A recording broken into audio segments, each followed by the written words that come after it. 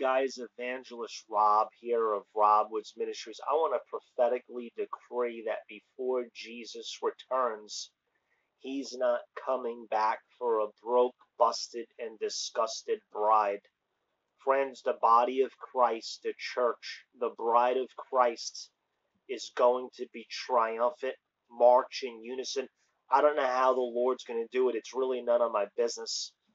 I just want to cooperate with the Lord and with heaven. I want to warn you of people that are always very critical of the church, overtly critical of ministers of the gospel. They'll go on YouTube and uncover ministers all the time, mention names. And the funny thing is, it could be like some dude sitting on his cell phone in his living room and he's criticizing and criticizing a world and a nation shaker, like a guy that's been in ministry 30, 40, 50 years, that's plowed. You know, it's absurd now. If someone's an absolute heretic and they've gone off the rails, you know, the Lord can and will correct them. He does use people. But we've got to make sure it's our assignment that the Lord gives us. And most of the time, these people, the Lord has not given them that assignment. They're overtly critical. There's this there's a lumberyard in their own eye. They're trying to get this speck out of their brother or sister's eye, and there's a lumberyard in their own. You know, I see things that aren't right sometimes. I don't agree with certain ministers and ministries. I don't go on YouTube and stuff. But I've never done it. I've never mentioned one minister, one minister's name or a minister's name. The Lord hasn't called me to do it especially if a minister falls from grace. I don't I'm not happy about that. David said when Saul fell, he said, I'm not don't shout it from the rooftops.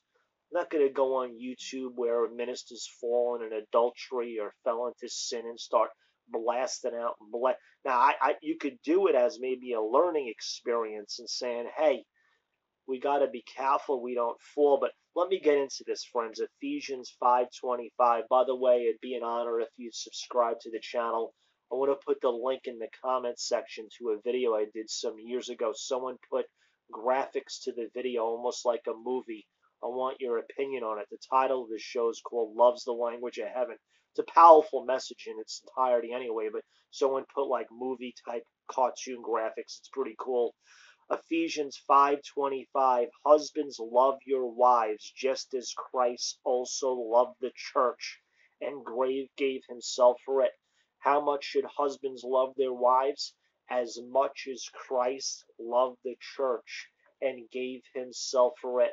If you want your men of men of God that are married out there, if you want your wife to submit to you, okay, with reverence and honor you, then love her the way Jesus loved the church. And when you love her the way Jesus loved the church, she'll do anything for you, man. Verse that he might sanctify and cleanse it with the washing of the water by the word. How is Jesus going to set apart the church, sanctify it, sanctification? By the washing of the water by the word.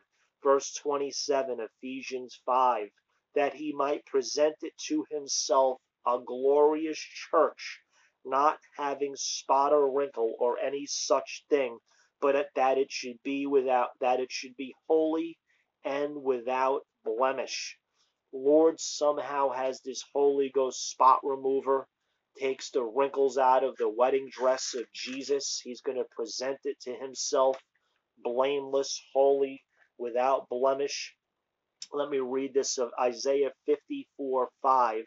For your Maker is your husband, the Lord of hosts is his name, and your Redeemer is the Holy One of Israel. He is called the God of it to the whole earth.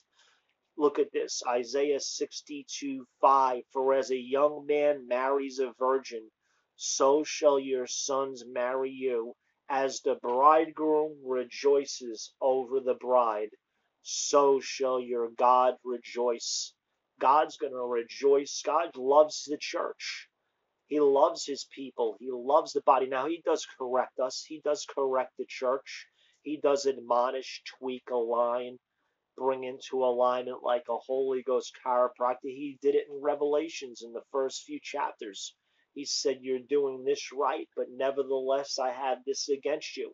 Because God wants what's best. Now, let me say this if anyone was ever caught in any type of sin, a minister or even not, that's the mercy and grace of God. God allowed that to be uncovered because ultimately it was going to get so bad the person might have really gone off the rails completely and not did anything about it as far as getting deliverance, help, repentance. Might have spent eternity in hell separated from God who knows how, you know, it just, you knows, man. Hey, the Lord bless you guys. Subscribe to the channel. Let's pray for the church, man, out before I close. Father, we're praying for your bride, the church. You love the church. You love your bride. You love your people.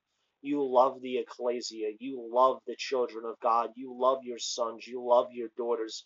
Father, I'm asking the church to be strengthened that you love, that it'll be presented to you without spot and wrinkle, without blemish, holy, sanctified, set apart, moving in power, moving in glory, the bride of Christ. The Lord bless you guys. Subscribe to the channel. Check out that video I did with the graphics. Blessings in Jesus' name.